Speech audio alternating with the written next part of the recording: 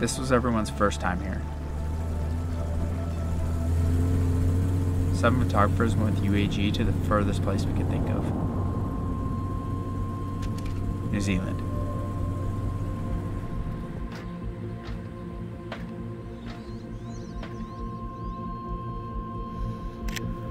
In the eight days we had to explore the South Island, these are some of the moments we lived.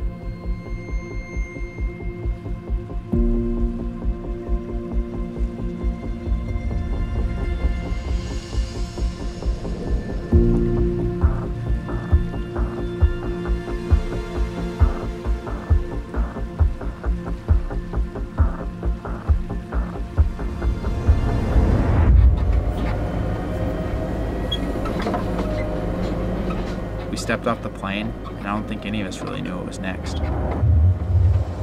We were 440 feet up, suspended by a few cables.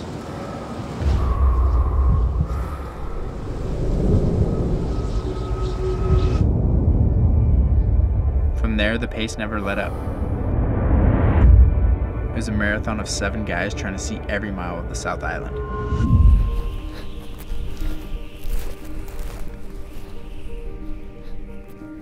I'm home maybe four or five days a month. I'm traveling pretty much full time. This is my first time in New Zealand, and everything's just bigger and more beautiful. If I can't quite get the angle I want, I'll send the drone up. There's a whole new world of perspectives up there that you wouldn't be able to see from the ground. Right, I kept doing things outside and bringing my camera with me. Go show up and just shoot way too many photos and constantly am filling up hard drives, but at the end of the day, it just has sort of worked out. The cool thing about traveling is it's the experience around it. Everywhere is different, and you're always finding something new.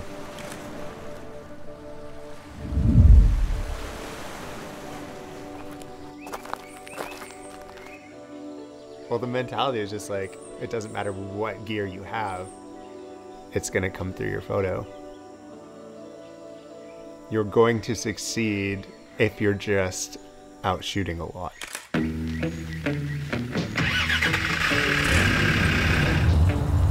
We jumped into three defenders and off-roaded through the mountain terrain surrounding Queenstown.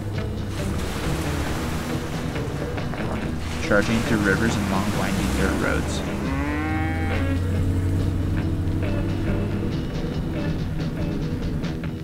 We all have mountains back home, but none were this steep or this big. I think this is when we realized the sheer magnitude of New Zealand. You can't shoot the same way in harsh light as you can in a moody light. The weather out here changes incredibly quickly. Shooting in both conditions is really fun. It kind of helps you, you know, see things differently. This trip, we've gotten up for every single sunrise. It's just cool being able to capture like different types of landscape. I just put my camera on the ground, pointed at the sea lion, and then it just looked at me and then it started running towards me.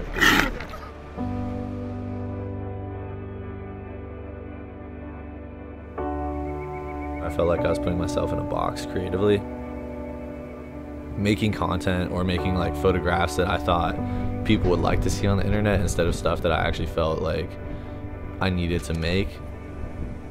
Coming into this trip, I wanted to let the moments happen in front of me.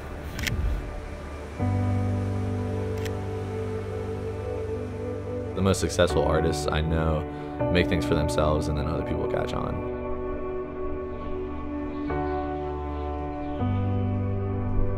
Sea lion, it was running into frame my camera, and I was like, oh, this is perfect. You're expecting to see wildlife, and most people want to see and shoot wildlife, but we actually got to like really engage the wildlife.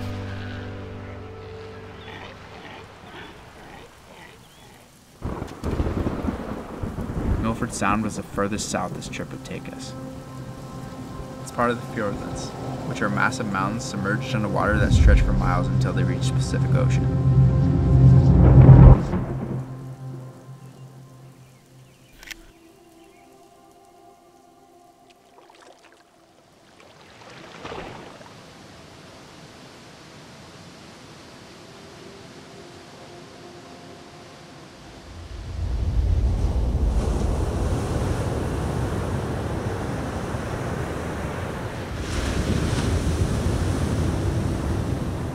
Doesn't have to be the perfect light conditions or perfect scenario in, in general. It's like if you're able to capture a certain scene, no matter where you are, I think you're successful.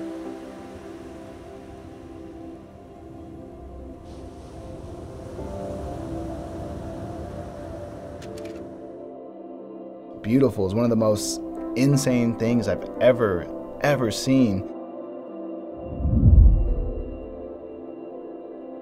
I love being outdoors, so even if I don't find a shot, I'm having the time of my life. I just feel blessed to be out in beautiful places like this and to have these crazy, unique experiences. When we get out of the car and all the guys, even like earlier today, I was the first person just gone. I don't want to, you know, follow anyone else. I don't want to shoot where they're shooting. I just want to do my own thing.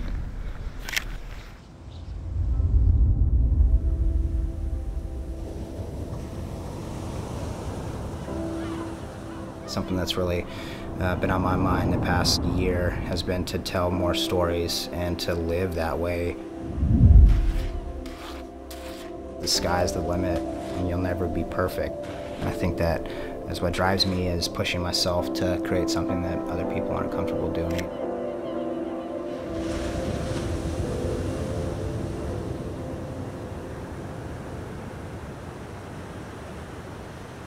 I think we all took ourselves to our furthest limits on this trip.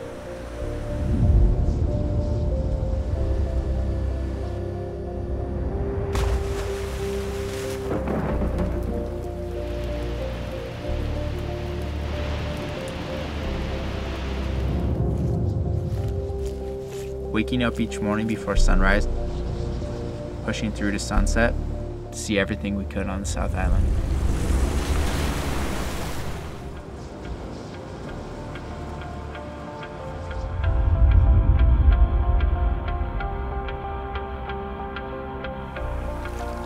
I can't speak for the other guys, but it's worth it for me. Every minute of sleep loss, every meal skipped, was worth it to experience New Zealand.